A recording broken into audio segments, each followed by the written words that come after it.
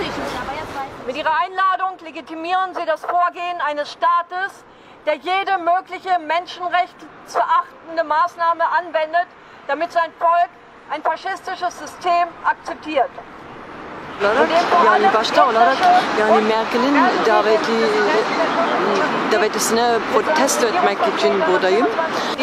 Özellikle Almanya yani bu faşist e, çağrı ile e, beraber tabii ki kendileri çok açık e, öbür ülkeleri mahvetmemizi yakışmıyor. Mit einer diplomatischen Zeremonie auf höchster Ebene. Ich glaube, dass Präsident Erdogan und die Türkei eine stärkere Nähe zu Deutschland und Europa brauchen.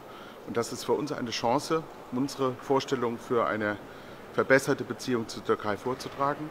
Ich glaube, dass die Bundesregierung die Gelegenheit ergreifen wird, auch die kritischen Themen alle anzusprechen. Ich beklage, dass mindestens sieben deutsche Staatsbürger ähm, aus meiner Sicht ohne hinreichende gerichtliche Begründung im Gefängnis sitzen. Sayın Merkel olmak üzere Almanya hükümetine, bütün devrimci demokrat çevrelere çağrımız halen zaman varken bu kanlı ve kirli diktatörün gelişine dur diyelim. Onun o kirli elini tutmayın. O suça ortak olmayın. Berkin Elvanların, İsmail'lerin Adım Gülsen, 27 yaşındayım. Ee, Kürt hareketini, özgürlük hareketini desteklediğim için buradayım. Ee, kendisi gibi düşünmeyen hiçbir görüşü kabul etmediği, bütün muhalifleri hapise tıktığı için, Erdoğan'ı e, diktatör ve katil olarak bulduğum için buradayım. Diktatör Erdoğan! Diktatör Erdoğan! Bunun için bugün Oranian Plaza kadar yürüyeceğiz. Bu aynı zamanda 28'inde yapacağımız büyük miting ve yürüyüşün de bir provası olacak.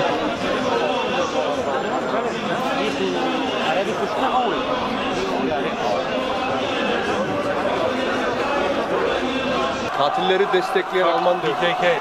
Alman devletinin yani çocuk katillerini, vatan hainlerini destekleyip yani böyle yürüyüşe çıkmaları yani na- çok hoş görülmeyen bir şey yani.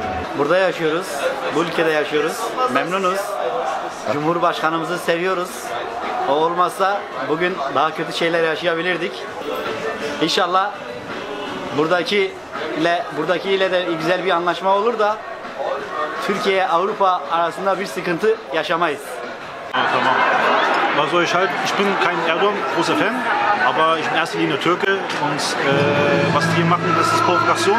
Was Erdogan, Erdogan kommt hierher, weil wir sind viele Türken und kann man nichts dagegen machen. Das ist gut.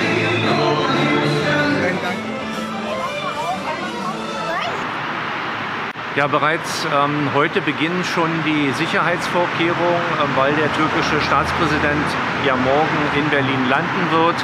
Ähm, er hat eine hohe Sicherheitsstufe und daher müssen wir auch umfangreiche äh, Maßnahmen treffen. Ähm, wir werden ähm, diese Kundgebung auch betreuen. Ähm, diese Kundgebungen sind angemeldet. Die Leute haben das Recht auf äh, Demonstrationsfreiheit und diese werden ihnen auch gewährt. Die Kundgebungen werden betreut. Wir ähm, wissen um die Umstände oder Vorfälle damals in den Vereinigten Staaten.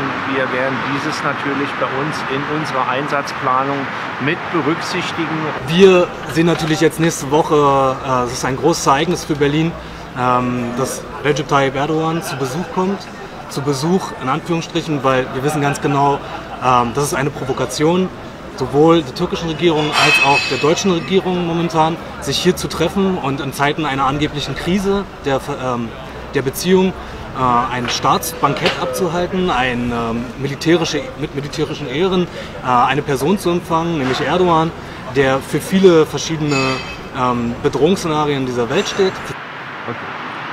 Die wirtschaftliche als auch die politische Situation der Türkei hat nicht Deutschland verschuldet, nicht Europa, nicht mal die USA, sondern die hat ganz allein Recep Tayyip Erdogan verschuldet durch seine Politik der Isolation, durch seine Politik, die Türkei in eine Art offenes Gefängnis zu verwandeln, die Unabhängigkeit der Zentralbank in Frage zu stellen. Das sind die Gründe für die Krise, die die Türkei hat. Insofern liegt die Lösung der Probleme auch in der Türkei. Er muss seine Politik ändern. Er muss vor allem die politischen Gefangenen freilassen, ihre Berufskollegen Journalisten, meine Berufskollegen Politiker, die Vertreter der Zivilgesellschaft. Er muss halbwegs rechtsstaatliche Strukturen in der Türkei wieder äh, verankern. Ähm, ich bin sowohl deutsche als auch türkische Staatsbürgerin. Ähm, ich habe in Istanbul Umweltpolitik studiert und bin dann nach Berlin gekommen, weil ich sowieso keine Jobchancen in Istanbul gesehen habe, vor allem auch nicht in der Türkei, weil wenn man sich Erdogans Umweltpolitik ganz genau anguckt, dann gibt es eigentlich keine Umweltpolitik, sondern ähm, seine Strategie ist eher ähm, Bäume abholzen und dafür Megaprojekte dorthin bauen, wie zum Beispiel die dritte Brücke, der neue Flughafen, Erdogans toller Istanbul-Kanal. Aber als ich ähm, nach langen Jahren der Türkei nach Deutschland gekommen ist, hatte ich endlich das Gefühl, dass ich meine Meinung frei äußern kann, ohne dass ich irgendwelchen Repressionen ähm, ausgesetzt bin. Und äh, deshalb habe ich tatsächlich ähm, geschrieben, fuck Recep Tayyip Erdogan. Und dafür habe ich eine Weile später von Twitter eine Nachricht bekommen mit einem ähm, Gerichtsurteil im Anhang. Und Twitter hat mich freundlich gefragt, ob ich diese Nachricht runternehmen möchte. Ähm, das habe ich nicht getan. Solange ich nicht frei in die Türkei reisen kann, sehe ich auch nicht ein, warum Deutschland erlauben sollte, dass Erdogan hierhin reisen darf. Erdogan hat hier in Deutschland genau wie jeder andere Bürger und jede andere Bürgerin das Recht, frei zu reden.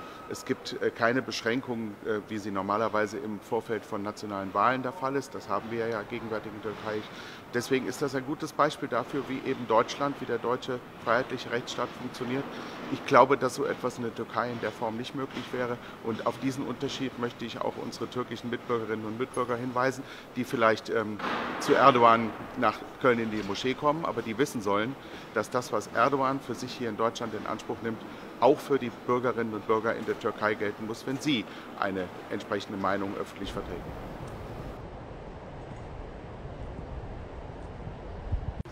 Wir haben in Deutschland, in, in der Türkei ein massives Meinungsfreiheitsproblem. Insoweit ist es falsch, dass ein Antidemokrat in Deutschland seine Meinung vertreten kann und die Moscheen beeinflussen kann, die Meinungsbildung in Deutschland beeinflussen kann. Dementsprechend stellen wir uns dagegen, dass Erdogan in Deutschland auftreten und sprechen darf.